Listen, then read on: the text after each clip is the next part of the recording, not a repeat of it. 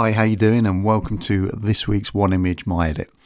So this week I'm going to be showing you how to create a real nice deep brown sort of vibe to your images. Now, if you're a traditionalist, you're going to absolutely hate this.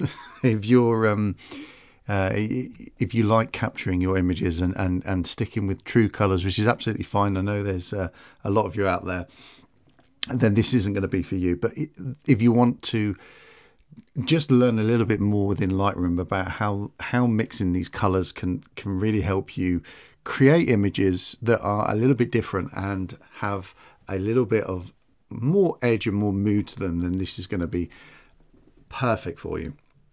So i'm going to walk you through this and show you how to get this this effect here which i think is quite nice it's quite interesting and you don't have to use this just for landscapes. This works really well for things like weddings portraits, that kind of stuff because of the colors that we're we're manipulating within it. So I'm going to reset this back to its original and um, walk you through the process. So the first thing I'm going to do with this particular image is just increase the color temperature a little bit by around plus 10 just to bring some more yellow and warm into it then we're going to work on the contrast. So I'm going to actually bring this contrast down to minus 50. I'm going to flatten the whole image and bring back a little bit more of that contrast later on using the tone curve. So the highlights, I'm going to bring them down a little bit as well, simply because this has a lot of white in it and I just want to try and bring back some of the detail there. So bring that around to around minus 30. And then the shadows, I'm going to bring them right up to plus 80. So there we go and you can see what I'm doing now with this. I'm making it quite flat so that we can then build it back up later within the colors so the whites I'm going to bring them down to minus 50 there we go. And the blacks I'm going to bring them down to minus 52 there we go. So if you look at just look at that as a before and after you can see what I've done.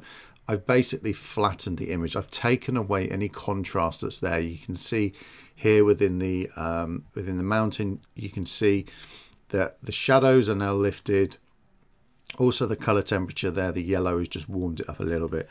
So it's just given us a really good base to kind of start with. So I'm going to add a little bit of uh, clarity and a little bit of dehaze to this just to help push it up a little bit there. There we go. So just plus 20 is that's enough for for this image. You might want to play around with that. And depending if you're doing a portrait, then you may want to uh, not push that clarity up because it can tend to uh, make look make people look a little bit older than what they actually are. We're going to bring the vibrance down a little bit to minus 15 and and the saturation as well. So just bring the whole color down. That's going to give us a little bit of a moody atmosphere. If we look at that, you can see there what we're doing. Okay, so we flattened the image and now we're just we're just controlling that whole overall presence of saturation and, and, and vibrance there. Okay, so next thing I'm going to do is I'm just going to add a simple S-curve to the image. So I'm going to isolate the whites at the top there and then I'm going to click down here for the blacks and I'm just going to bring them blacks down a little bit there okay and I think that's that's pretty much it. I'm gonna yeah that's all I that's all I need to do. And again depending on your image will determine how far you want to pull this down. So what I'm also going to do is do the same to the red green and blue channel. And to make sure that I get the same adjustment I'm just going to right click copy channel settings, go to the red, right click again and just paste that.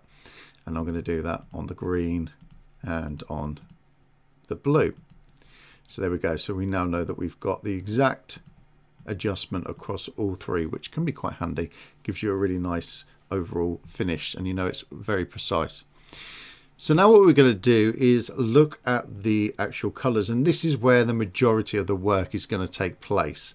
So we've got the hue, which is the, if we look here on the hue, we've got the, uh, the reds here, and then we've got the saturation and the luminance, which is the brightness. So let's just slightly manipulate this. So the reds I'm going to bring down to minus 10. Same with the oranges. Just bring them down a little bit. The yellows, I'm going to bring that quite a bit out, about minus 50. There we go. And the greens, I'm actually going to push them up to plus 60. So the reason why I'm doing that is because I am making the greens more aqua and the yellows I'm making them more more uh, going into that slightly into that orange range there. So let's go to the saturation. The reds I'm going to pull just out a little bit to minus 10. Orange, I'm just going to push them up a little bit to plus 10. Yellow, I'm going to bring that down quite a bit to minus 50. Again, depending on your image will determine how far you want to push that. And the greens, I'm going to pull that a little bit more actually, minus 70. So around there, just because there was a lot of green down here. But again, you can adjust that depending on uh, your image. And then the rest of them, I'm going to actually strip away the colors. So the aqua, the blue, the purple, and the magenta there. So really just strip them out uh, just for now, just to see what, what it looks like. But let's let's think about the luminance now. So the luminance, I'm going to actually just push the brightness up of some of these. I might actually go back and bring some of them colors back in in a minute. So plus 30 on the red, some of the orange. I think we just keep it quite similar. Plus 20 on the yellow there. Uh, green, I'm going to bring that down. Minus 70.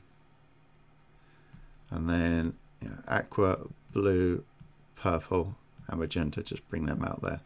So even though I've brought down the, the brightness there, I've also brought down the saturation. So you can just do it on one and you'll get pretty much the same effect. But I do like to, when I'm taking out colours, sometimes uh, make sure it is all completely out of the uh, adjustment there. So now we've done that, we, we need to be aware that whenever we're manipulating colors, we need to think about the noise reduction. So within the color, I'm going to push this up to about 25. Noise reduction in general to around 15. I'm going to keep the detail at 50. And I'm going to bring the smoothness down to around 15 there and detail at 50. And just bring in a little bit of global sharpening up to plus 15. Radius of 1. Detail, I'm going to push that up to 50. And then masking, I'm going to hold the Alt Option key down and just push that up so that it is just sharpening the areas that I want, which is the white areas there. That's that's pretty good for me. Quite like that. That's good. That's looking really, really good. So that is how you do it. It's as easy as that. So like I said, the majority of the, the work is done within the hue and saturation and luminance of these colors. You can, of course, come back and tweak these depending on your particular individual image. If we look at that as a before and after, like I said, if you're a traditionalist, then this, this won't be for you because it is completely manipulating color and it is creating a, a an image that is way, way off of what reality actually was. But from a creative point of view, I think it works really, really well. It gives you a really nice deep brown vibe to your images and it can look um, uh, very add a little bit of mood and drama to it. It's very uh, sort of end of world style shot. And like I said earlier, it does look really, really nice in portraits as well. Um, I know a lot of wedding photographers that kind of use this particular, very similar style with the colours, but they don't um, they don't saturate, desaturate as much. They'll probably just go 50% of the way uh, and it can produce some really, really nice looking images. So we could, if we wanted to as well with this, just finish off with a nice vignette. That would certainly help as well. Just bring the eye into the actual middle of the middle of the shot and just help with that mood and drama. So yeah, that looks really, really nice. I'm happy with that. So I hope you've enjoyed that and I look forward to seeing your images with this particular edit. Don't forget, next week is my Business of Photography challenge. It's a five day challenge where you can learn all about how to set up a photography business, or if you are running a photography business, you can get some tips and tricks on that. So come and join me for five days. Just go to DSLRGuruChallenge.com and you can sign up there. And I'll see you soon. Take care. Bye bye.